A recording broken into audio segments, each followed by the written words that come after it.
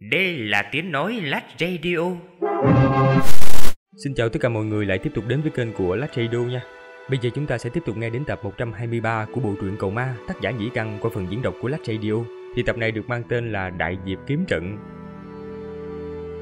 Thì nói sơ qua nội dung tập trước, ở tập trước thì à, Thạch Hạo đã tu luyện ở trong Đông Hoang Tháp, tu vi hồi phục lại, thân thể hồi phục lại.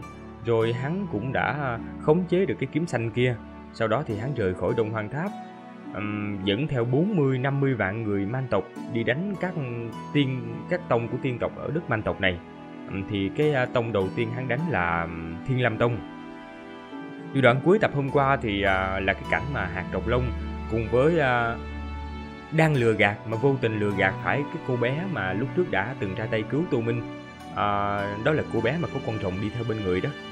Thì diễn biến tiếp theo như thế nào thì mời mọi người xem tiếp nha thì ở video này á um, lát uh, không có quay video khắp miệng nha. Lát quay xong rồi à, năm được gần full video rồi thì tự nhiên nó cúp điện ngang. Nó mất cái file quay file quay bị lỗi luôn. À, trời trời tức. Tức muốn điên luôn. À, thôi à, vậy thôi. À, mọi người xem chuyện vui vẻ nha.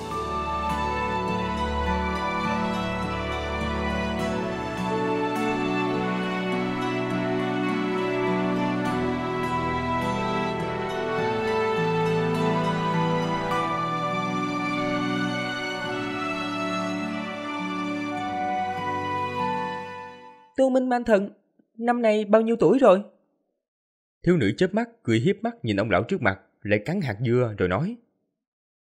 Nói về Tô Minh này, có lẽ người khác không biết, nhưng mà lão phu rất hiểu hắn, hắn... Ông lão do hạt độc lông biến thành lải nhải. Còn cho tòa màu vàng dưới chân thiếu nữ liếc lão, lắc đầu, ánh mắt có vẻ đồng tình và đáng thương. Nó lắc người từ từ đi tới bên cạnh tiền thần nằm trên đất giả chết. Còn chó vàng vòng qua người tiền thần, nhúng cái mũi ngửi kỹ càng, lại vương lưỡi liếm mặt gã.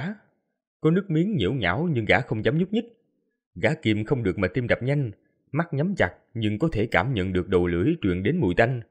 Cái này không quan trọng, đáng chú ý hơn là gã dán xuống man tộc. Mặc dù thân phận không phải tiên tộc nhưng có thần thông đặc biệt. Thần thông này không có tính công kích nhưng có thể thấy lờ mờ sự thật của sự vật. Gã ở trong tộc quần rất được đệ tử tiểu bối thích là thuật pháp dành cho vào Nam ra Bắc Thần thông này có thể khiến cho họ thấy báu vật mà nhiều người nhìn không ra. Có thể khiến cho họ như có mắt thần vậy. Tiền thần thậm chí từng thông qua cái cách đặc biệt giáng xuống man tộc là gián tiếp nhờ vào thần thông này. Khi gã gặp phải con hạt trọc lông có thi triển thần thông, thấy ra đối phương do một con hạt trọc lông biến thành, cộng thêm tự xưng là hạt lão.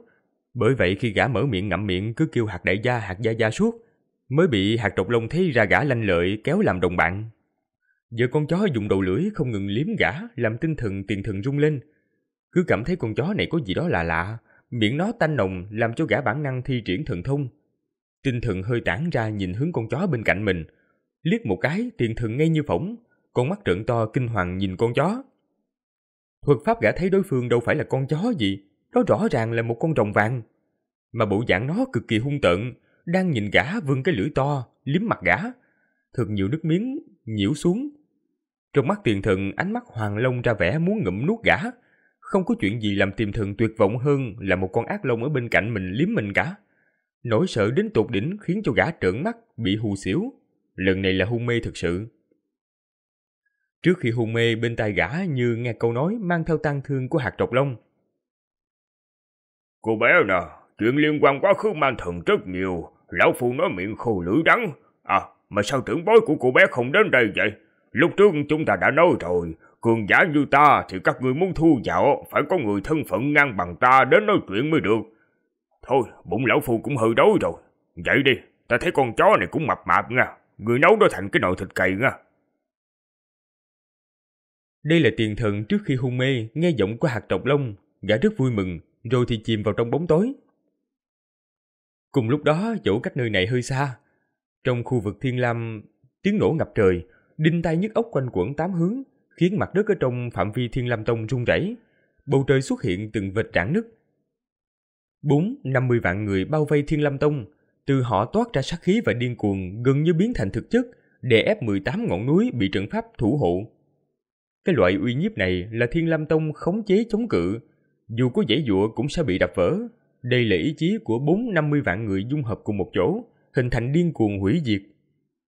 Tô Minh ở phía trước nhất, sau lưng hắn là đám xích lôi thiên. Bây giờ trong lòng xích lôi thiên tràn đầy phức tạp, nhưng không có chút ý nghĩ từ người Tô Minh lấy về lôi tinh.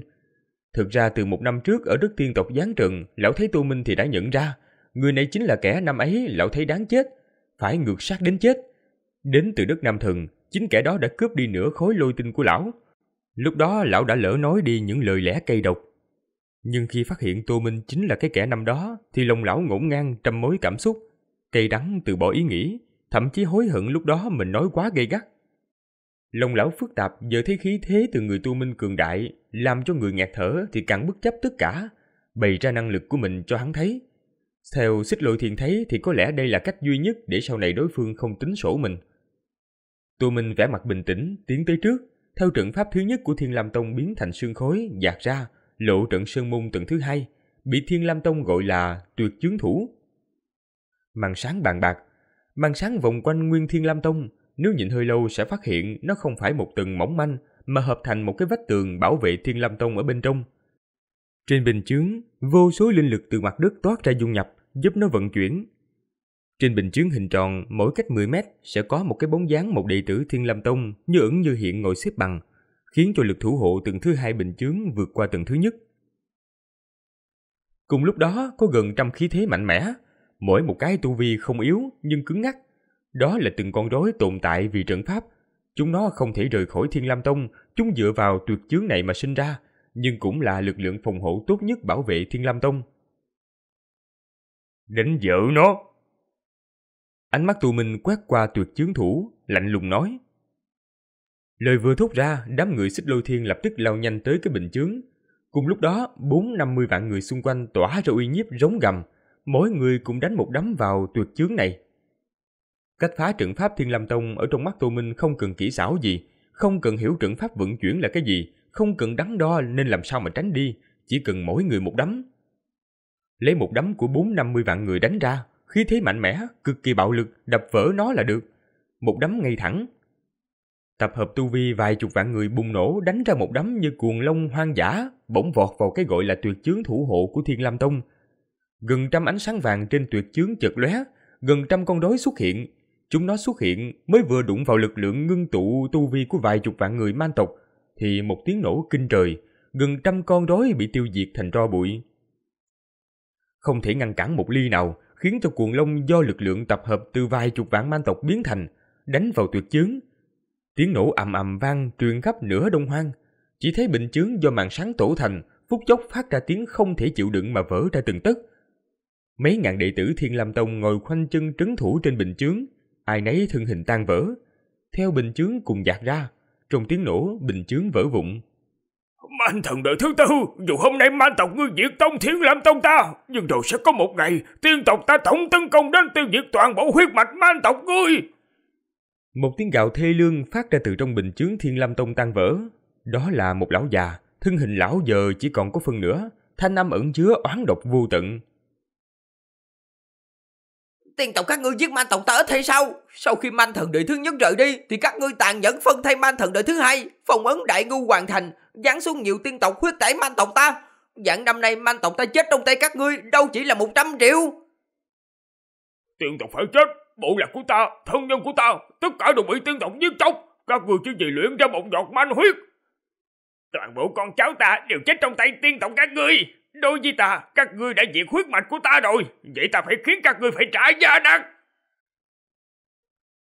Từng tiếng hét thê lương dấy lên, đó là giọng của mấy chục vạn man tộc xung quanh, đó là nỗi hận thù và điên cuồng với người tiên tộc. Chiến tranh giữa hai tộc quần, trong chiến tranh có lẽ tồn tại người không nhiễm máu của hai bên, nhưng dù là như vậy, trong chủng quần khổng lồ nhất định phải hủy diệt một bên, chỉ đành xuôi theo dòng máu, dần rơi vào giết chóc tộc quần. Trận chiến tranh này không có ai đúng ai sai, có có lẽ chỉ là một tiếng thở dài.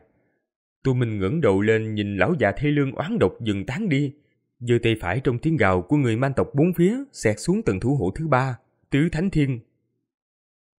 Một chưởng này rơi xuống, trước mặt Tu Minh biến ảo ra man tượng ngàn mét, cũng dùng một chưởng vỗ về phía cái tầng phòng hộ thứ ba. Thanh âm ầm ầm vang vọng, trong trận pháp tứ thánh thiên dấy lên phong vũ lôi điện khuếch tán bốn phía. Tu vi người man tộc không đồng đều, tứ thánh thiên khuếch tán có không ít người học máu, thân hình tan vỡ tử vong, nhưng có càng nhiều người mắt đỏ rực như phát điên gào thét lướt qua người tu Minh vọt hướng trận pháp tứ thánh thiên. Đây không phải là chiến trường của một mình tu Minh, đó là chiến tranh của tất cả tộc nhân người Man tộc. Dưới trận pháp phòng hộ, 18 ngọn núi Thiên Lam Tông, tiên tộc mặt tái nhật nhìn bầu trời, vẻ mặt họ lộ ra tuyệt vọng, cái bóng chết chóc đang buông xuống che trời. Một khi trận pháp tan vỡ thì chờ đợi họ chỉ có cái chết mà thôi. Trận pháp tầng thứ ba, Thiên Lam Tông, tứ thánh thiên nổ vang. Mặc dù trận này rất là mạnh, bên trong bốn pháp tắc phong vũ lôi điện biến đổi ngưng tụ lực lượng hủy diệt mạnh mẽ. Nhưng cho dù là lực hủy diệt có cường đại hơn, cũng không đè lại nổi bốn năm mươi vạn người điên cuồng trùng kích. Đó là chém giết bất chấp tất cả, là trỗi dậy phản kích từ mối thù tiên tộc. Trận pháp chỉ chống đỡ dây lát, vô tận hủy diệt cũng không thể kéo dài quá lâu. Man tộc chết không ít người, nhưng mà họ cam lòng chết. Chết vì dân tộc, chết vì man tộc vùng lên, họ chết mà không tiếc nuối. Coi như tù minh cũng không thể ngăn cản người man tộc vùng dậy. Thường vòng chém giết cùng tiên tộc, nếu mà hắn ép quát ngăn man tộc tấn công, một mình đối kháng với trận pháp Thiên Lam Tông, thì có lẽ dựa vào sự mạnh mẽ của hắn rất có thể phá vỡ Thiên Lam Sơn Môn được. Nhưng mà nếu thực sự làm như vậy thì trận chiến này không phải tiên tộc và man tộc chém giết, mà là tô minh với tiên tộc. Nếu thực sự là như vậy thì man tộc sẽ không vùng lên, cho dù có thì cũng là tô minh chứ không phải man tộc. Một dân tộc vùng lên cần máu, hy sinh, ý chí. Tô Minh nhìn những tộc nhân man tộc mắt đỏ rực điên cuồng, điều duy nhất hắn có thể làm là dẫn dắt họ đánh mở trận pháp.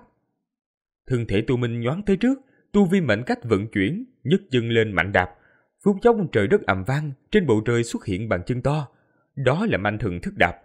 Chân to ầm ầm đạp hướng trận pháp tứ thánh thiên thiên lam tông, liên tục bảy lần, chấn động trận pháp rung rẩy. Vô số người man tộc điên cuồng vọt lên, dùng thân thể, máu thịt, tu vi, dùng tất cả những gì họ có đánh hướng trận pháp.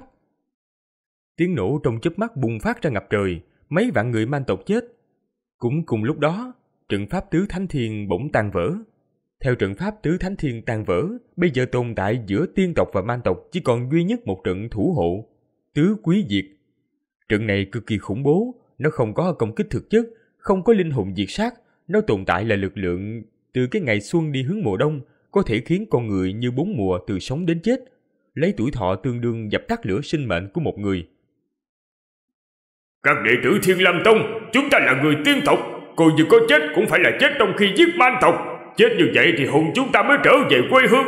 Nếu chúng ta chết trong nhục nhã, khiến giả nhân rừng rú này công phá trận pháp, thì chúng ta chết không đáng giá thôi. Về phút trận pháp tứ thánh thiên bị phá vỡ, trong Thiên Lam Tông, tông chủ tông môn trong đức man tộc, một người đàn ông trung niên mặt mũi âm trầm, đứng giữa không trung nhìn tất cả Thiên Lam ở 18 ngọn núi. Ánh mắt dần nhu hòa, lộ ra không nở. Ta không muốn chết, nhưng khi Thiên Lam Tông sắp hủy diệt, sau khi trận pháp tan vỡ thì chúng ta chắc chắn sẽ đối mặt cái chết. Ta hy vọng cái chết của mình có ý nghĩa, hy vọng cái chết của mình sẽ khiến đám giả nhân đức âm tử này trả giá cực đắt. Hy vọng cái chết của ta có thể khiến cho đại quân tiên tộc chúng ta khi giết dòng anh tộc báo thù cho chúng ta thì bớt hy sinh vài người. Không phải ta không muốn sống, nhưng giờ phút này ta hy vọng cái chết của mình là đáng giá. Các người có ai muốn cùng lão phu chết có ý nghĩa hay không? Giọng người đàn ông trung niên sôi sục khi nói ra lời này thì mạnh ngẩng đầu đi hướng trận tứ quý diệt Thiên Lâm Tông cuối cùng bên trên. Giây phút gã cất bước thì thân thể nhanh chóng héo rút. Khi tới gần trận pháp, thân thể gã thành xương khô tan biến. Nhưng thể nguyên thần ngưng tụ tất cả máu thịt tu vi thì bay ra khỏi bộ xương tan biến. Bùm một tiếng dung nhập vào trong trận pháp tứ quý diệt. Trận trận pháp cuối cùng của Thiên Lam Tông ta bị gọi là tứ quý diệt. Bởi vì trận chỉ cần có người hiến tế mạng sống, lấy mạng đổi mạng thì rất khó công phá. Thiên Lam Tông chỉ có hồn chết, không có người sống chờ man tộc người đến giết đâu. Lão Phu còn có 4.800 năm tuổi thọ, ai đến cùng ta đổi mạng đi. Tông môn Thiên Lam Tông Đức Man tộc thanh âm vang vọng truyền khắp trong ngoài trận pháp. Dù là tộc nhân bên ngoài man tộc cũng dừng bước. Tụi mình ở phía trước nhất trông thấy, cảm nhận quyết tâm thà chết cũng phải điên cuồng của tiên tộc. Dù hắn chán ghét dân tộc này, nhưng không thể không công nhận, bất cứ dân tộc nào đều có chỗ đáng tôn trọng. Ta còn có 700 năm tuổi thọ, ai cùng ta đổi mệnh? Trong 18 ngọn núi Thiên Lam Tông, một bóng người bay ra lao hướng tứ quý diệt trận. Ta còn hơn 100 năm tuổi thọ. Ta còn hơn 2.200 năm tuổi thọ. Ta còn hơn 400 tuổi thọ. Ta còn hơn 600 tuổi thọ. Trường thanh âm quanh quẩn liên tục trên 18 ngọn núi Thiên Lam Tông, bỗng nhiên từng bóng người lao hướng tứ quý diệt. Những thanh âm vang thường xuyên hơn, cuối cùng hòa lại hình thành tiếng gào của Thiên Lam Tông. Ta còn 500 tuổi thọ. Ô Lạp khẽ nói, nhoáng người lên hòa nhập vào trận pháp. Thiên Lam U im lặng, ngẩng đầu, tiến tới một bước đi hướng trận pháp. Thiên Lam Mộng ở sau lưng cô cắn môi, cây đắng cũng định bước đi, nhưng bỗng Thiên Lam U quay đầu lại. Thiên Lam Mộng chưa kịp phản ứng thì Thiên Lam U nâng lên tay phải vung hướng cô. Sương khói trắng khuếch tán, trong sương Thiên Lam Mộng dừng khép mắt ngã sang một bên. Hãy sống cho tốt. Thiên Lam U khẽ nói, xoay người đi hướng trận pháp trên trời. Đối mặt tất cả người Thiên Lam Tông hiến tế tuổi thọ, trận pháp tứ quý diệt bùng phát ra ánh sáng chói lòa. Ánh sáng lượn lờ tám hướng ở trước mặt tộc nhân man tộc. Từng tiếng gầm, từng câu đổi mạng đại biểu tiên tộc phản kích, cũng khiến cho người man tộc trong cuộc chiến im lặng giây lát. Nhưng chỉ vẻn vẹn là giây lát mà thôi, tất cả tộc nhân man tộc cùng tiến tới trước. Khí thế áp đảo tất cả bao trùm, người man tộc xông vào cái vòng sáng đổi mệnh. Tô Minh không lùi, hắn sải bước cùng tộc nhân man tộc bước vào trong cái vòng sáng. Đây là một trận liều mạng không có âm mưu dương mưu hay tính toán gì cả. Đây là trận lấy mạng đổi mạng điên cuồng. Người tiên tộc làm được, người man tộc cũng đáp trả. Tuổi thọ hai bên đối kháng va chạm trong trận pháp. Đệ tử Thiên Lam Tông trả giá tất cả tuổi thọ, thân hình héo rút, nhưng nguyên thần bỗng tạc nổ, lấy bạo lực đổi cái giá càng lớn hơn. Bên man tộc cũng như vậy, trận chiến tranh không có đúng có sai, hay là có đạo lý, mà là điên cuồng đổi mệnh nhau.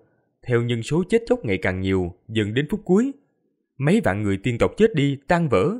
Mãi đến tông chủ biến mất, ô lạp mang theo cây đắng hùng phi phách tán. Mãi đến tất cả người tiên tộc vì giết càng nhiều man tộc mà trả cái giá tất cả. Trận đổi mệnh này kết thúc rồi. Theo tiên tộc cuối cùng trong trận pháp chết, ánh sáng tứ quý diệt trận dần tan biến, cuối cùng biến mất trong đất trời. Tô Minh đứng ở giữa không trung, sau lưng hắn người man tộc đã chết gần 7 vạn. Những người đó có một nửa chết trong đổi mệnh này. Chiến trường một mảnh im lặng, Họ là chiến sĩ, mặc dù chúng ta có mối thù sâu đậm với họ, nhưng họ là chiến sĩ, đáng giá tôn trọng.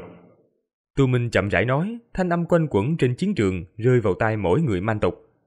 Thiên Lam Tông đã bị hủy diệt, nhưng bất cứ dân tộc nào, tông môn nào có người to gan hy sinh thì cũng có kẻ yếu đuối nhát gan. Bây giờ trên 18 ngọn núi Thiên Lam Tông có mấy trăm người mới nãy không trả giá mạng sống. Trận pháp tứ quý diệt tan biến rồi, cả trời đất đều là tộc nhân man tộc, Mấy trăm người đó run rẩy đi ra quỳ hướng man tộc, tu minh. Chúng ta nguyện thay đổi huyết mạch, từ nay bái man thần, trở thành người man tộc. Mấy trăm người run rẩy quỳ, truyền ra thanh âm vì muốn sống. Tu minh không để ý những người đó, sẽ có người nô dịch họ, trở thành phụ thuộc man tộc, từ nay là nô lệ. Ánh mắt tu minh rơi vào 18 ngọn núi, một người nằm ở đó, hắn im lặng đi qua, tới bên cạnh Thiên Lam Mộng đang hôn mê, im lặng nhìn cô ta. Vẻ mặt Tô Minh có phức tạp và hồi ức. Xích lôi thiên. Tu Minh nhắm mắt lại, lát sau mở ra, lạnh nhạt nói. Lập tức sau lưng hắn, trên bầu trời có một cầu vòng lao nhanh đến đáp xuống, chính là xích lôi thiên. Lòng lão rung rung, nhưng vẻ mặt không lộ ra chút gì. Trang đầy cuồng nhiệt và tôn kính quỳ một gối hướng Tu Minh. Dạ, có xích lôi thiên. Năm đó ta lấy đi nửa khối lôi tinh của ngươi. Tu Minh chậm rãi nói. Khi hắn nói tới đây thì tim xích lôi thiên rớt cái bịch, mặt lộ ra lúng túng và cười khổ. Vậy thì hôm nay di sản của Thiên Lâm Tông tặng cho bộ lạc của ngươi, để cho bộ lạc của ngươi sinh sản lớn mạnh hơn. Tô Minh xoay người nhìn xích lôi thiên. Xích lôi thiên ngẩn ra, lão kích động lại cúi đầu hướng Tô Minh. Cảm ơn man thần ban thưởng.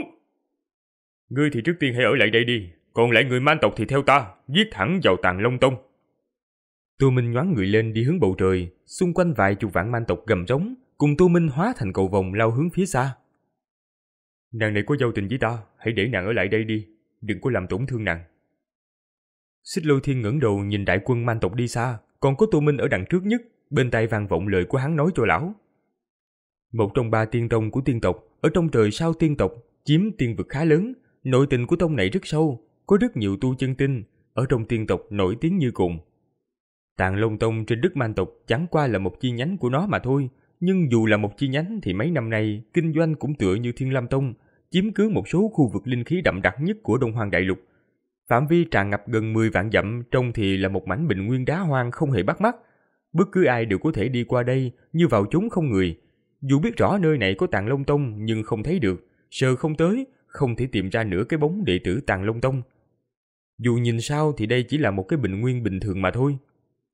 Trên bầu trời hơn 30 vạn người man tộc chiếm đầy trời, từ người họ toát ra sát khí khiến trời đất tối tăm, khiến cho mặt đất tràn ngập tiêu điều. Ánh mắt Tô Minh rơi xuống mặt đất, vẻ mặt bình tĩnh, người ngoài không nhìn ra vui giận. Man thần đại nhân, chỗ này, chỗ này là Sơn Môn Tàng Long Tông. Bên cạnh Tô Minh, kế bên ông lão Nam Man Man Nha Bộ Lạc, đứng một người Thiên Lâm Tông, tự nguyện sửa huyết mạch, cẩn thận nói. Người này là một người đàn ông trung niên, mặt tái nhợt. Chẳng những giọng run rẩy mà tinh thần cũng đầy sợ hãi, gã chính mắt thấy Thiên Lâm Tông bị hủy diệt, thấy gần như tất cả đồng môn đều chết, bây giờ đối mặt man tộc nổi dậy thì có thể nói là tim đập chân rung. Đặc biệt là khi gã vừa thốt lời thì ông lão Nha Man phát ra tiếng cười âm trầm, làm đệ tử Thiên Lâm Tông da đầu tê rừng. Dạ, nhiều năm trước tiểu nhân từng cùng trưởng bối tông môn đi qua Tạng Long Tông một lần. Khi đó chỗ này không giống như vậy đâu. Ta còn nhớ tồn tại nhiều cung điện trôi nổi, khi thấy bàn bạc khiến cho người khó quên. Đệ tử Thiên Lâm Tông cúi đầu vội nói. Man thần đại nhân nè, lão phu có tiếp xúc với Tàng Long Tông nhiều lần. Tông này âm hiểu ẩn nấp, chữ Tàng Long đủ thấy chủ thuật của tông đó rồi. Ngoài ra Tàng Long Tông có rất nhiều vật tư, có thể nói là tông giàu nhất trong các tông môn tiên tộc ở đất man tộc này. Nhà mạnh liếm môi nhìn bình nguyên bên dưới nói với Tô Minh. Hủy diệt tông này rồi sẽ ban cho bộ lạc nhà manh các ngươi, để bộ lạc các ngươi cấm rễ phát triển hùng mạnh hơn. Tô Minh thu lại tầm mắt đang nhìn bình nguyên, từ từ nói. Ông lão nha man vừa nghe lời này thì phút chốc đôi mắt sáng rỡ, là cường giả mạnh nhất bộ lạc. Lão là tu vi man hùng đại viên mãn, luôn khát vọng khiến cho người bộ lạc càng cường đại hơn. Trước mắt chỗ này bị tàn long tông chọn trúng, đương nhiên rất thích hợp bộ lạc cư ngụ rồi. Mới nãy lão còn hâm mộ xích lôi thiên có thể dẫn theo tộc nhân chiếm cứ thiên lam tông. Giờ nghe Tô Minh nói như vậy thì lão liếm môi cười. Nụ cười kia lộ ra hàm răng vàng đen khiến khuôn mặt trông có vẻ dữ tợn. Thiên Khải, vô song, huyết sát ở sau lưng nha man vẻ mặt bình thường, nhưng lòng thì tràn đầy mong chờ. Họ thấy ra ý định của Tô Minh, hủy diệt tất cả tiên tộc Đông Hoang rồi. Tông môn mà những tiên tộc trú ngụ chính là chỗ của mấy đại bộ lạc họ. Tà Linh Tông ban cho Thiên Khải, Tà Thị Tông thuộc về vô song, còn Tà Tiên Tông là chỗ bộ lạc của huyết sát ngươi sinh sản. Tu Minh ngoái đầu nhìn mấy ông lão man hồn đại viên mãn sau lưng, thậm chí đã bước ra một bước nhỏ, toát ra hơi thở mệnh tu. Tên những ông lão này ở một năm trước từ bốn phương tám hướng đến bấy lệ Tu Minh thì hắn đã nhớ, cũng dựa theo hiểu biết trước đó mấy người này là năm thế lực mạnh nhất Đông Hoang man tộc. Cảm ơn man thần! Thiên Khải tinh thần phấn chấn, chắp tay cúi đầu hướng Tu Minh, Huyết sát và vô song trên mặt cũng đầy nụ cười, bái hướng tu minh. Man tộc nổi dậy là một mặt, nhưng cái gọi là nổi dậy kỳ thực vẫn là mỗi bộ lạc lớn mạnh mới có thể xuất hiện, cho nên đối với họ thì ban thưởng kiểu này chân thực hơn bất cứ thứ gì. Còn về Đại Diệp Tiên Tông thì... Mắt Tu Minh xẹt qua tia sáng lạnh. Nam Cung Ngân. Tu Minh mở miệng, sau lưng hắn lập tức có ảo ảnh tới gần, hiện ra trước mặt Tu Minh chính là mệnh tộc Nam Cung Ngân. Gã vẻ mặt cung kính, không phải chắp tay bái lạy mà quỳ một gối lấy lễ mệnh tộc bái kiến Tô Minh. Chỉ có gã và mệnh tộc bái kiến không phải man thần mà là Tô Minh, mặt tôn của họ. Dù cho Tô Minh không phải man thần thì mệnh tộc cũng cuồng nhiệt. Mệnh tộc là một tộc riêng, từ nay về sau là mặt Tô Minh ta ở nước man tộc này. Đại Diệp Tiên Tông này chính là phân bộ của mệnh tộc tại Đông Hoàng Đại Lục. Tô Minh nhìn Nam Cung Ngân bình tĩnh nói. Nam Cung Ngân vẻ mặt không kích động mà chỉ gật đầu, gã không nói lời cảm ơn vì biểu tình cung kính mà cuồng nhiệt đã vượt qua người man tộc sùng kính Tô Minh, đại biểu tất cả.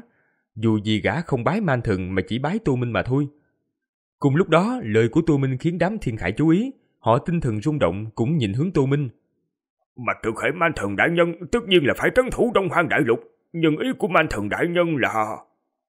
Huyết sát chớp mắt, do dự một chút, thấp giọng hỏi.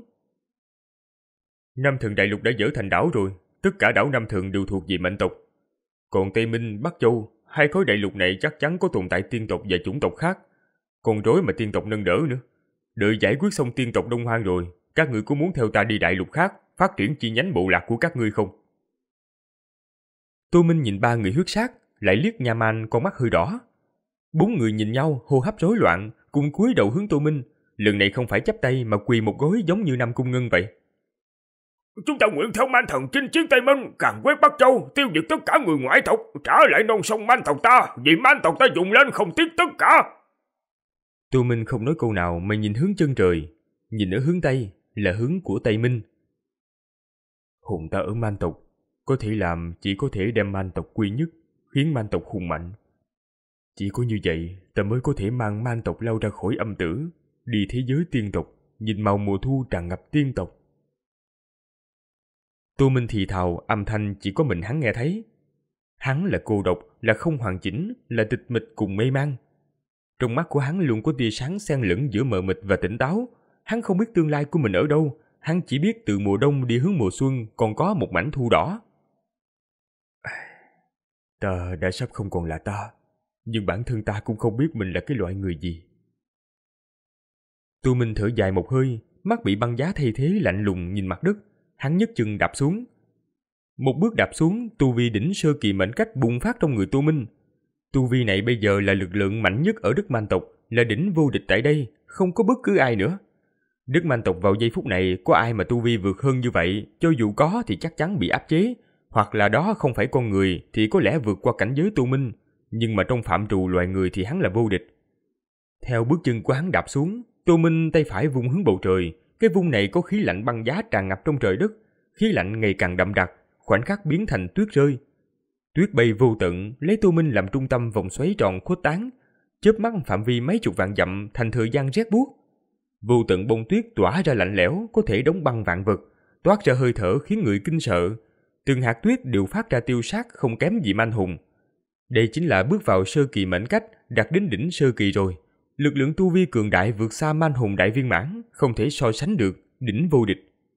Bông tuyết nhìn như tuyết nhưng thực sự là nó không phải, là mệnh của tu minh, đó là mệnh tử vong của hắn, là toàn thân tử khí hóa thành, dung hợp cùng mệnh cách bùng phát ra. Thần thông đặc biệt thuộc về người tu mệnh cách. Loại thần thông này mỗi người có khác nhau, mỗi người bước vào cảnh giới tùy mệnh khác mà không giống, cảm ngộ khác biệt, không có loại nào giống loại nào. Đây là lần đầu tiên Tu Minh không chút giữ lại toát ra tu vi mệnh cách của mình, nở rộ hoa tuyết ở Đông Hoàng Đại Lục.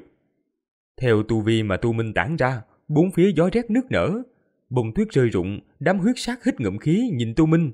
Trong chớp mắt họ cảm nhận sự cường đại, uy nghiêm man thần từ chỗ Tu Minh.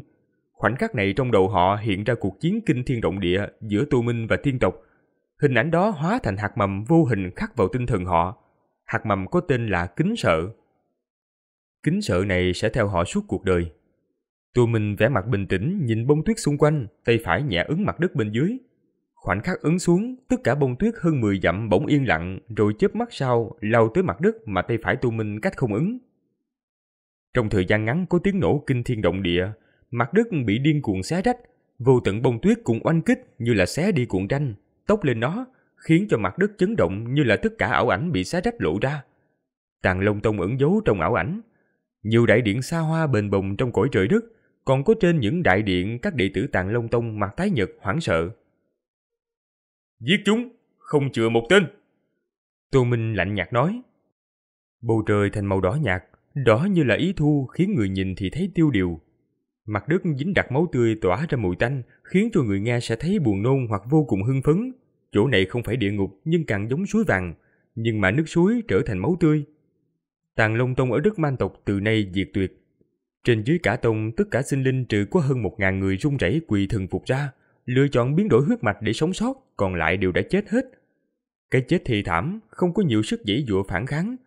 40 vạn đại quân man tộc oanh giết không ai sống được, đặc biệt là chỗ này mai sau trở thành chỗ ngụ của bộ lạc Nha Manh, cho nên để phòng ngừa vạn nhất, nha man khiến cho người bộ lạc nghiêm ngặt phong tỏa bốn phía, bảo đảm không có bất cứ đệ tử tàng Long Tông nào chạy thoát được.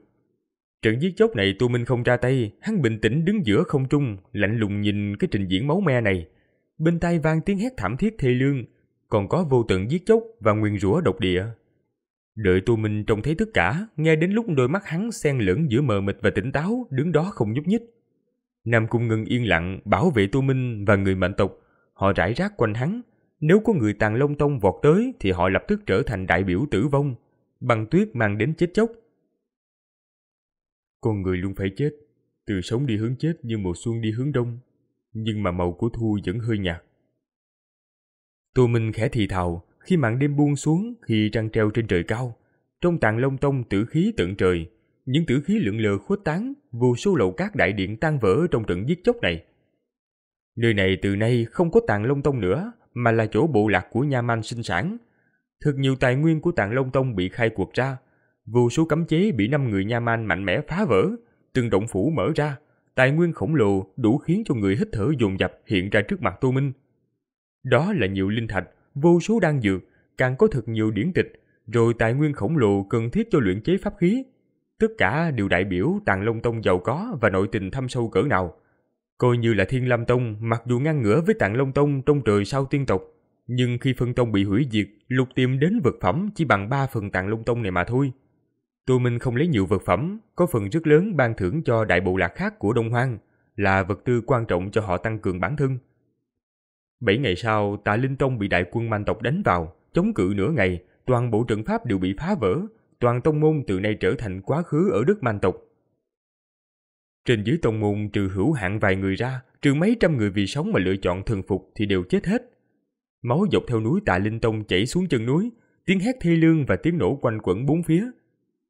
Thường Đông không chết, thiếu nữ năm đó bị Tô Minh lấy thuật búp bê khống chế cũng không chết trong cái trận chém giết. Bị man tộc mời đi, đây là mệnh lệnh của hắn, cộng thêm toàn tại Linh Tông hủy diệt, thành chỗ ở tông môn mới cho ông lão Thiên Khải. Lại qua năm ngày, Tà Thị Tông bị vài chục vạn đại quân man tộc tới gần lựa chọn trận pháp sơn môn tự bạo. Loại tự bạo này là 10 vạn dặm trời đất điên cuồng. Người Tà Thị Tông có lẽ nhiều người không muốn như vậy, nhưng cuối cùng không thể ngăn cản chết chóc đó. Tiếng nổ quanh quẩn, toàn đông hoang rung động. Tà Thị Tông bao gồm chủ tông môn ở đều hóa thành tro bụi, bao gồm người man tộc cùng xuất hiện nhiều tử thương. Loại tử thương này vượt qua cả lúc ở Thiên Lam Tông, nhưng mà nó lại kích động huyết mạch man tộc điên cuồng, đại quân man tộc mang theo điên cuồng đó xông đến Tạ Thiên Tông. Chiến đấu với tông này mãi đến trận pháp cuối cùng tan vỡ, khi đại quân man tộc định oanh giết tất cả người Tạ Tiên Tông thì xảy ra tình hình rất hài kịch. Người Tạ Tiên Tông phân liệt nội bộ, khi trận pháp vỡ tan, từng người trong tông có một nửa phân liệt chết đi, còn lại mấy ngàn người đều quỳ xuống bái man tộc đã đến, cam nguyện thay đổi huyết mạch, làm nô lệ, lựa chọn thần phục. Đến đây thì tông môn tiên tộc trên Đông Hoang Đại Lục lần lượt bị hủy, chỉ còn lại một là Đại Diệp Tiên Tông. Còn những tông môn bị hủy diệt trở thành Đông Hoang Đại Bộ Lạc của đám huyết sát Thiên Khải đi theo Tu Minh. Còn có trong tông môn mỗi tiên tộc lúc trước thay đổi huyết mạch trở thành nửa man nửa tiên phụ thuộc tiên tộc. Bọn họ từng là man tộc nhưng giờ thì thành dị loại. Việc xử lý những người này, mỗi đại bộ lạc trong đại quân man tộc lần đầu hiện ra dãy dụa. Có một số cho rằng họ có thể sống, dù gì trong đó có nhiều người thuộc về mỗi bộ lạc, thậm chí là người thân, nhưng cũng càng nhiều tộc nhân man tộc hận họ, cho rằng những kẻ phản bội man tộc nhất định phải lấy máu tẩy rửa sỉ nhục. Thanh âm dễ dụa và phản đối không thể đồng đều, cuối cùng Tu Minh làm ra quyết định. Nhiều người đã từng phản bội man tộc họ phải chịu trừng phạt, đó là đem họ thành quân tiên phong trong đại quân càn quét ngoại tộc ở Tây Minh, Bắc Châu. Giết chết đủ người ngoại tộc, lấy chiến công đổi lại tư cách quay về man tộc. Nếu không chết thì từ nay vẫn là man tộc, có thể lại bái lạy man thần. Quyết định này không phải tất cả người man tộc sửa huyết mạch đều chấp nhận, nhưng mà những kẻ phản đối thì trở thành một phần của thiên địa mùa thu này. Dưới sự giết chóc tàn khốc, tại Đông Hoang Đại Lục trừ một khối khu vực ra, lại lần nữa toàn bộ thuộc về man tộc. Một trận tập kết vượt tử hải đi Tây Minh, Bắc Châu đang triển khai khi mỗi đại bộ lạc di chuyển. Vượt tử hải, đặc biệt là mấy chục vạn, thậm chí là mấy trăm vạn người đi qua, là chuyện từ khi đất man tộc chia thành năm khối thì không xuất hiện nữa. Việc lớn này hấp dẫn tất cả người man tộc sụp sôi. Chỉ dựa vào cái việc bay đi này thì trừ Tu Minh và số ít người ra, đa số man tộc không thể làm được, cho nên cần phải dùng vô số thuyền để vượt tử hải. Toàn Đông Hoang Đại Lục chuẩn bị, tụi mình không mang đi bất cứ man tộc nào mà chỉ dẫn tộc nhân mệnh tộc của mình đi tới chỗ Sơn Môn Đại Diệp Tiên Tông. Đại Diệp Tiên Tông hiện giờ là đất tiên tộc duy nhất trên đất Đông Hoang. Tụi mình sẽ không để man tộc ra tay, hắn phải tự mình diệt Đại Diệp Tiên Tông, bởi vì tông môn này là của đế thiên. sơn môn Đại Diệp Tiên Tông là một ngọn núi cao ngất đâm mây, trong ngọn núi như thanh kiếm khổng lồ, kiếm sừng sững đứng trên mặt đất, trông thấy ghê người. So sánh với nó thì mọi người tựa như con kiến. Có lẽ Đại Diệp Tiên Tông trước kia không phải như vậy, nhưng tông ở trước mặt Tô Minh bây giờ chính là ngọn núi tựa thanh kiếm sông lên trời. Từng đợt kiếm khí tỏa ra tràn ngập vạn dặm tám hướng Đại Diệp Tiên Tông, bất cứ sinh linh nào bước vào khu vực vạn dặm đều phải chịu đựng giết chóc đến từ kiếm khí. Mặt Tôn, hãy để tộc nhân mệnh tộc đi cùng người. Nam Cung Ngân đứng bên cạnh Tô Minh, sau lưng gã là mấy trăm mệnh tộc. Những người này mỗi một người vẻ mặt lộ ra cuồng nhiệt nhìn Tô Minh chờ đợi hắn ra lệnh. Tu Minh lắc đầu, hắn nhìn mấy trăm mệnh tộc mặt lộ ra nụ cười. xoay người một bước đạp qua khu vực vạn dặm. Khoảnh khắc bước chân Tu Minh đạp xuống thì phạm vi đại diệp tiên tông kiếm khí ngập trời. Từng tiếng rít sắc nhọn vang vọng, chỉ thấy vài trăm kiếm khí bỗng xuất hiện lao hướng Tu Minh. Tiếng nổ vang vọng khi Tu Minh bước ra bước thứ ba, mấy trăm kiếm khí đánh hướng Tu Minh, nhưng chúng nó đến không thể ngăn chặn hắn chút nào. Khi kiếm khí tới gần Tu Minh 10 mét, thì như gặp phải bình chướng không thể xông lên trước nữa, toàn bộ tan vỡ. Cách Tô Minh 10 mét có một tầng màn sáng chính sắc biến ảo, đó là tỏa ra từ đỉnh đầu của hắn. Ấn này là pháp bảo ngũ phương ấn của hắn. Theo tu vi Tô Minh tăng cao, một năm ở Đông Hoang Tháp, hắn đem ngũ phương ấn từ trong người triển khai luyện hóa, bây giờ đã hơi khống chế được rồi, tỏa ra màn sáng chính xác. Dưới ánh mắt chăm chú của mấy trăm mệnh tộc, họ thấy Tô Minh mặc tôn từng bước một đi xa. Hắn đi ngày càng xa, cũng càng tới gần cái ngọn núi Đại Diệp Tiên Tông. Bốn phía kiếm khí đến gần từ mấy trăm biến thành mấy ngàn. Mấy ngàn kiếm khí lượn lờ thiên địa. Từng đợt tiêu sát đánh hướng Tô Minh, nhưng không có một kiếm khí nào có thể xông vào cái mạng sáng chính xác của hắn một chút nào. Mãi đến Tô Minh nhoáng người lên, thi triển tốc độ cực hạn. Người như cầu vòng vọt lên trời, lao hướng núi Đại Diệp Tiên Tông. Mấy ngàn kiếm khí bùng nổ, hóa thành mấy vạn kiếm khí cùng oanh kích tất cả mọi hướng quanh Tô Minh. Đằng sau mấy vạn kiếm khí lại có vài vạn, dường như kiếm khí vô cùng vô tận. Trong tiếng nổ ngập trời thấy không rõ thân thể Tô Minh, bị che giấu trong vô số kiếm khí. Mãi đến khi Tô Minh tới gần ngọn núi Đại Diệp Tiên Tông chưa đến ngàn dặm, thì trời đất khu vực này phát ra tiếng nổ đinh tai nhức óc. Trong tiếng nổ, mặt đất bỗng tách ra chính khe hở to lớn. Từ trong khe có chính cái luồng kiếm khí kinh người đánh ra. Chính kiếm khí cực kỳ cường đại. Sau khi xuất hiện hình thành thân kiếm lao hướng Tô Minh, Cùng lúc đó, xung quanh đất xuất hiện gần vài chục vạn kiếm khí vòng quanh chính kỳ kiếm khí như thực chất vọt hướng Tô Minh. Tô Minh vẻ mặt bình thản, khi kiếm khí tới gần thì tay phải của hắn nâng lên hư không chập. Một thanh sắc kiếm chớp mắt lóe ánh sáng vàng xuất hiện trong tay hắn. Cầm thanh kiếm này, mắt Tô Minh lóe tia sáng sắc bén. Kiếm mà không nắm trong tay thì có còn là kiếm hay không? Tô Minh lạnh nhạt nói, sát kiếm đâm tới trước. Khi Tô Minh từ chỗ Hồng La được truyền thừa có cách dùng kiếm khác hẳn với người tiên tộc thi triển phi kiếm thuật.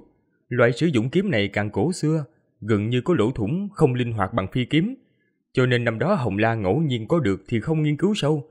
Nhưng mà Tô Minh rất có hứng thú với cái kiểu dùng kiếm này.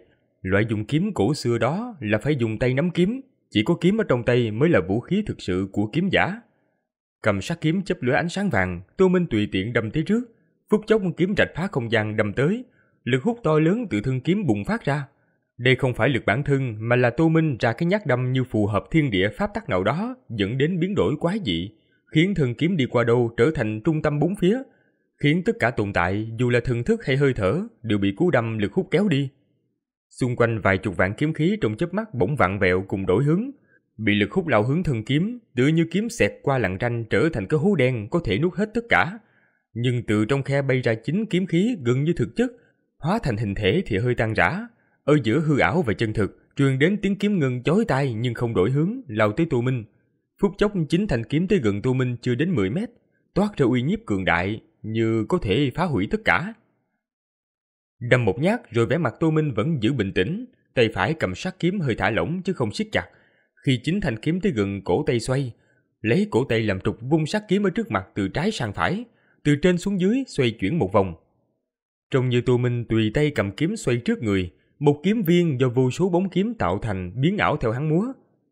Trông thì như là kiếm viên, lại nhìn kỹ thì là thuộc dùng kiếm, kiếm trận, như hình thành kiếm thuẫn bảo vệ trước người Tô Minh, và chạm với chính phi kiếm tới gần.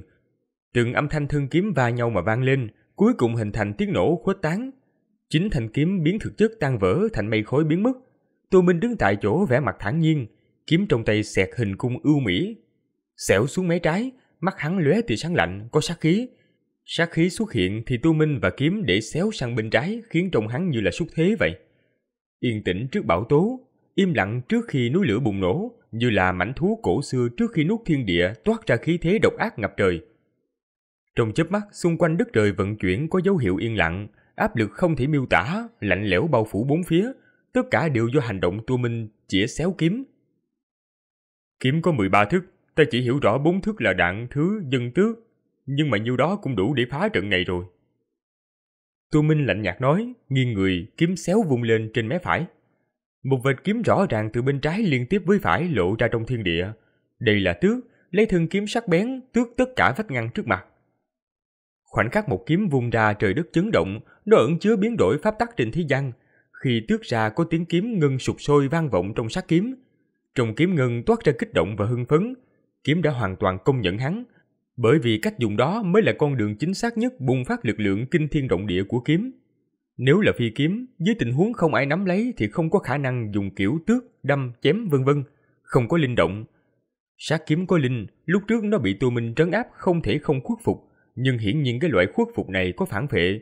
Mãi đến bây giờ kiếm ngừng phát ra sát kiếm thực sự công nhận Tô Minh, vì nó cảm nhận được bị Tô Minh nắm trong tay, mới nảy đâm, vân, đặc biệt là tước bây giờ, ba loại động tác bùng phát ra lực lượng hoàn chỉnh, thậm chí là vượt qua bản thân của nó. Lực lượng kia khiến cho nó rung rẩy, kích động, lực lượng khiến cho nó cảm nhận một loại tẩy rửa, một loại vô hình ngộ ra, thân là kiếm nên nở rộ như vậy. Trời đất rung động, trước mặt Tô Minh theo hắn tước một cái, một vết kiếm xéo xé rách không khí, vết kiếm đánh tới trước, một đường đi qua trời đất xé ra, không trung tan vỡ. Vết rách này ngày càng lớn, quét ngang ngàn dặm, mãi đến rơi trên ngọn núi Đại Diệp Tiên Tông. Có tiếng nổ càng điếc tai vang lên, vết kiếm tước của Tô Minh xuyên thấu núi Đại Diệp Tiên Tông. Xuyên thấu núi hình kiếm lao ra sau không ngừng khuếch tán, mãi đến biến thành cái khe dài cỡ vài ngàn mét xuyên thấu kiếm trận vòng quanh Đại Diệp Tiên Tông đến vỡ một cái lỗ hổng to. Theo cái lỗ hổng xuất hiện, xung quanh Tô Minh kiếm trận hộ sơn Đại Diệp Tiên Tông bỗng nhiên tan vỡ. Trận vỡ hình thành vô số mảnh vỡ kiếm khí dạt ra bốn phía, dấy lên cuồng phong cuốn chín tầng trời, truyền ra tiếng nổ kịch liệt chấn động tám hướng. Cùng lúc đó, khi kiếm trận Đại Diệp Tiên Tông tan vỡ, thì núi có hình dạng kiếm rung lên, từ vị trí giữa núi chậm rãi ầm ầm ngã nghiêng, mãi đến nửa ngọn núi ngã hướng bên trái, rơi vào mặt đất khiến động đất, dấy lên tiếng nổ điếc tai. Từng đợt đất cát cuốn khuếch tán bốn phía, tóc và quần áo của Tô Minh bị ngọn núi ngã dấy lên gió thổi, nhưng vẻ mặt của hắn chẳng chút biến đổi, cầm sát kiếm, lạnh lùng nhìn. Bây giờ núi Đại Diệp Tiên Tông đã đoạn một nửa, vết cắt rất là mượt, chính là cái chỗ vết kiếm của Tô Minh xuyên thấu qua núi. Kiếm sơn đoạn. Sát kiếm trong tay Tô Minh đang run rẩy, hưng phấn rít, Mũi kiếm toát ra sát khí như đang khao khát máu, khao khát cách dùng kiếm như thế này, uống máu cả đời. Tô Minh ngẩng đầu lên nhìn Đại Diệp Tiên Tông đã bị đoạn, chậm rãi tiến tới. Hôm nay một mình hắn muốn diệt một tông, muốn cứu nhị sư huynh trong Đại Diệp Tiên Tông. Sau lưng tu Minh, các tộc nhân mệnh tộc vẻ mặt kích động, nhìn mặt tôn của họ.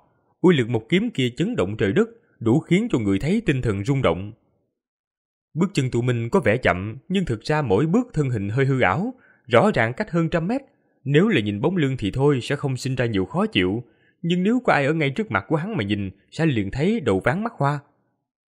Trong mắt người thấy rõ ràng là cách mấy ngàn mét chớp mắt giống như gặp ảo giác.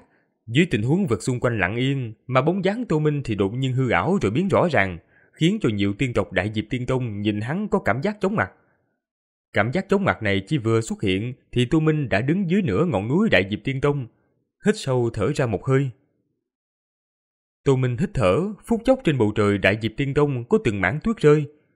Mỗi một cái bông tuyết phát ra lạnh vô tận, chớp mắt khoảng cách vạn dặm đầy tuyết rơi. Bông tuyết dày đặc rơi xuống đất, từ xa nhìn như có phong ứng to lớn vây khốn đại diệp tiên tông bên trong. Thuật mệnh tu của Tô Minh bằng giá. Lấy thuật này phong ứng tám hướng, khiến người tiên tộc trong đại diệp tiên tông không một ai chạy ra được, khiến chỗ này biến thành nhà tù giam. Hôm nay Tô Minh ta tới đây, diệt đại diệp tiên tông. Tô Minh từ từ nói, thanh âm vang vọng như có vô tận hồi âm xung quanh bông tuyết lắc rắc rơi. Những thanh âm hòa hợp lại như thành trời gầm, chấn nửa ngọn núi đại diệp tiên tông rung rẩy. Khi tu Minh thốt câu này thì nhấc chân lên, đi tới cái bậc thang núi đại diệp tiên tông trước mặt. Bước chân hắn đạp xuống, vô tận kiếm khí từ đại diệp tiên tông bùng phát. Cùng kiếm khí bay ra là hai ngàn vệt đỏ, bên trong có hai ngàn đệ tử đại diệp tiên tông Mắt của họ đỏ thẫm, lao nhanh ra cùng những kiếm khí hướng tới Tu Minh. Sau lưng họ từng tiếng rít gào quanh quẩn, càng nhiều đệ tử Đại Diệp Tiên Tông bay vọt ra hướng Tu Minh. Kiếm trong tay Tu Minh đang rít, khát vọng máu nhuộm đỏ làm sắc kiếm rung dữ dội. Tiếng rít như đang cầu xin Tu Minh cho nó thoải mái giết chóc. Tu Minh im lặng để mặc mấy ngàn người tới gần, trong mắt băng lạnh và giá rét hơn. Hắn nhấc chân lên, lại tiến lên. Theo hắn cất bước, bậc thang sau lưng hắn vỡ thành tro bụi, không có lời nói gì. Khi bước ra thì mấy ngàn người đại diệp tiên tông đã tới trước mặt của Tu Minh. Tay Tu Minh cầm kiếm chém tới trước, một cái đầu người bay lên, vội máu nhuộm đỏ mũi kiếm. Kiếm hoa từng điểm tán ra ngoài, lập tức có vài cái đầu lại bay lên. Máu che đậy tầm mắt của Tô Minh và tiên tộc. Tô Minh đi tới bước thứ ba, thứ tư, thứ năm. Hắn bình tĩnh đi tới trước, bên cạnh có vô số người tiên tộc và kiếm khí rít. Kiếm trong tay hắn không chút tạm dừng, kiếm linh hưng phấn khát máu rít gào, từng cái đầu rơi ra lăn xuống dưới núi. Tô Minh không biết hắn giết chết bao nhiêu người, hắn đi ra 300 bước, kiếm khí vô tận đánh đến. Nhưng sát kiếm trong tay hắn vung lên, những kiếm khí tan vỡ. Cùng lúc đó, có những cái đầu theo tiếng hét thê lương theo máu bay ra. Sau lưng Tu Minh, dưới 300 bậc thang đều thành tro bụi, như đại biểu ý chí và quyết tâm của Tu Minh. Chỗ hắn đi qua tất cả sinh linh tựa như đá dưới bậc thang thành mảnh vụn. Máu dọc theo núi chảy xuống, máu đậm đặc tràn ngập bốn phía, ngay cả bông tuyết tám hướng trong khoảnh khắc này như sắp nhuộm thành màu đỏ.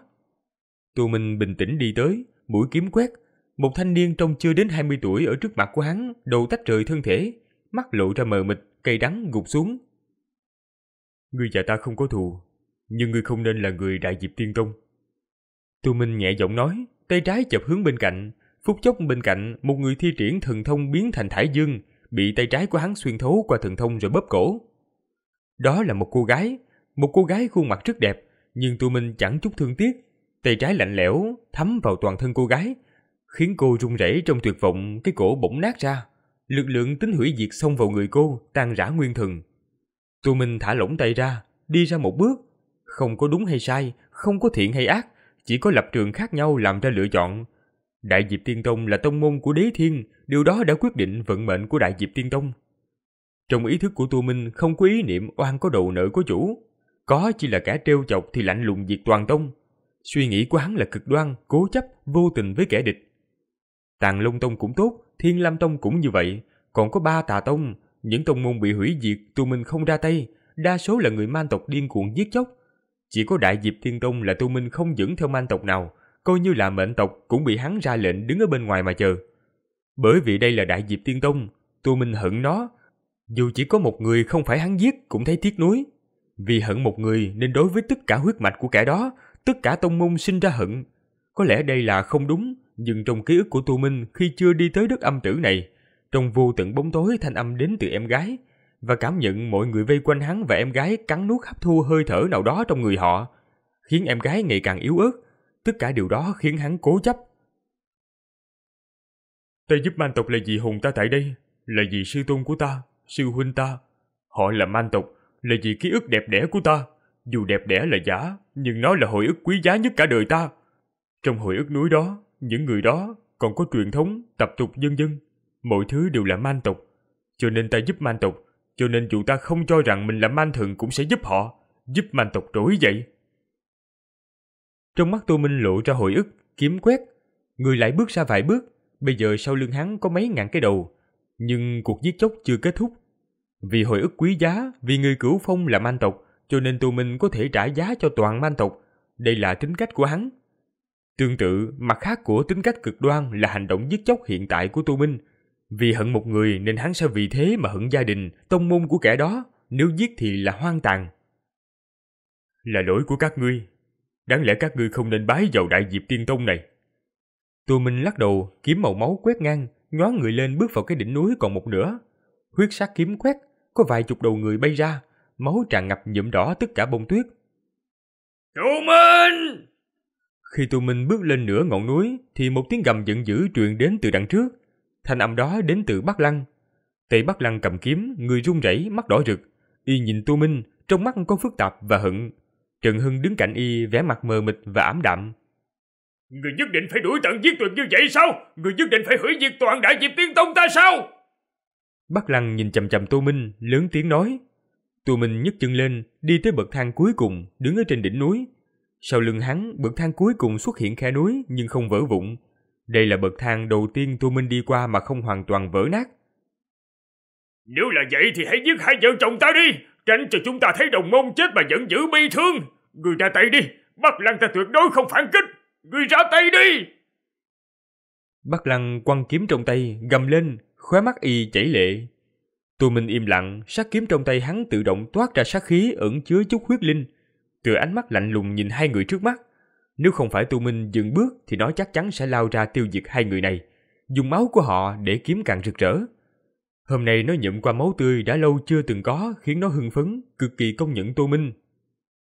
Còn nhớ ta dạy cho ngươi dùng cung tên không? Còn nhớ khi Âu Sơn bị Hắc Sơn Bộ Lạc săn giết, ngươi và ta anh dũng chiến đấu không? Ngươi vẫn là ngươi ở Âu Sơn hay sao? Ngươi có xứng với A Công, xứng với tộc nhân Âu Sơn Bộ Lạc không? Đến đây, giết ta đi! Lời của Bắc Lăng khiến Tô Minh im lặng, lòng đau nhói. Loại đau này là ký ức càng quý giá thì độc dược càng mãnh liệt. Là nỗi đau xé rách tinh thần. Khi đau đớn xuất hiện, hắn từ từ nhìn hướng Bắc Lăng thì Trần Hưng đứng cạnh y bỗng ngẩng đầu. Trong mắt ảm đạm bị thay thế vẻ phức tạp. Mắt cô đẫm lệ như là đặt quyết tâm vội vàng hét lên với Tô Minh. Tô Minh, chạy mau! Nhưng cô không nói dứt lời thì Bắc Lăng vụt xoay người tác tay Trần Hưng. Người Trần Hưng bắn ra sau, khóe môi tràn máu. Khi Trần Hưng gợi ý thì bỗng một thanh kiếm từ không khí sau lưng Tô Minh, tốc độ như tia chớp nhưng lúc hắn bị lời nói của Bắc Lăng làm đau xót đâm vào sau lưng hắn. Vị trí mũi kiếm có ngọn lửa xanh, độc hỏa có thể thiêu đốt linh hồn, chỉ cần bị thanh kiếm đâm vào người là sẽ bị đốt cháy linh hồn một người. Thanh kiếm này dường như sớm đã chờ tại đó rồi, chỉ đợi Bắc Lăng khiến tinh thần Tô Minh rung động là sẽ phát ra sát cục đã đặt sẵn cho hắn. Ngực Tô Minh đẫm máu, kiếm sau lưng xuyên thấu ngực lộ ra một nửa thân kiếm. Máu dọc theo mũi kiếm rơi xuống đất, rơi trên bông tuyết dưới đất, từng giọt tí tách rơi. Tô Minh, đáng lẽ người không nên đánh đại diệp tiên tông này. Sau lưng Tô Minh truyền đến giọng già nua, thanh âm kia hắn rất quen thuộc, là cha của Bắc Lăng, tiễn thủ ô sơn. Khi kiếm của tiễn thủ xuyên thấu thân hình Tô Minh, lời nói vang lên, hắn cúi đầu nhìn mũi kiếm thì biểu tình Bắc Lăng trước mặt hắn biến dữ tợn, lao nhanh xuất hiện ở trong mắt hắn, nâng lên tay phải, một thanh dao găm đen thui xuất hiện đâm vào trán của hắn. Tô Minh, người đi chết đi! Dao găm đâm vào trán Tô Minh, xuyên thấu, trên bầu trời bỗng vang tiếng chú ngữ, tiếng chú ngữ vang vọng, từng bóng người xuất hiện là gần vạn đệ tử Đại Diệp Tiên Tông.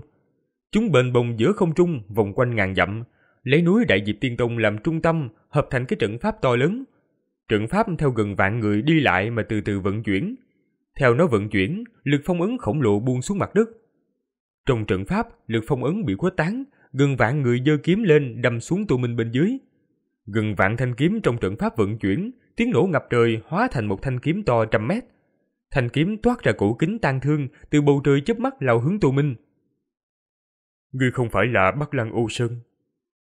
Tô Minh không để ý kiếm to từ trên trời buông xuống. Hắn nhìn bác Lăng biểu tình hung tợn, lạnh nhạt nói. bác Lăng bỗng biến sắc mặt, trợn to mắt thấy dao găm đâm vào trán của tu Minh đang nhanh chóng đóng băng. Chớp mắt đã thành khối băng, khí lạnh lan tràn khi y định thả lỏng tay ra thì trùm lên cánh tay y, rồi lan đến toàn thân, trực tiếp đóng băng thân hình và nguyên thần của bác Lăng thành pho tượng băng trước mặt tu Minh. Ngươi cũng không phải là tiễn thủ Ô Sơn. tu Minh khẽ nói, mũi kiếm trước ngực hắn thành khối băng, tiễn thủ sau lưng hắn hoảng sợ gầm lên vội vàng muốn thụt lùi, nhưng chưa lùi được ba bước thì giống như con trai của gã vậy, bị đóng băng thành pho tượng. Đó là thần thông mệnh tu của tu Minh.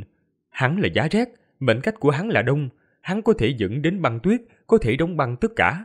Trừ phi tu vi của đối phương cao hơn hắn, nếu không thì trước mệnh tu, không có chút khả năng chống cự. Tiếng ken két vang vọng, Bắc Lăng biến thành tượng băng giữ bộ dạng hung tợn, sau đó bị bể ra thành bốn năm mảnh. Cha y biến thành tượng băng cũng kèn két rồi vỡ vụn. Dao găm ở trán tu minh vỡ vụn, mũi kiếm trước ngực cũng vỡ ra. Hắn đứng đó, vẫn mặc kệ kiếm từ trên trời giáng xuống, nhìn Trần Hưng khóe miệng dính máu. Tại sao cô lại nhắc nhở ta? Tô Minh nhẹ giọng hỏi. Hết tập 123 của bộ truyện Cầu Ma. Xin cảm ơn tất cả mọi người đã lắng nghe giọng đọc của Lách Radio nha.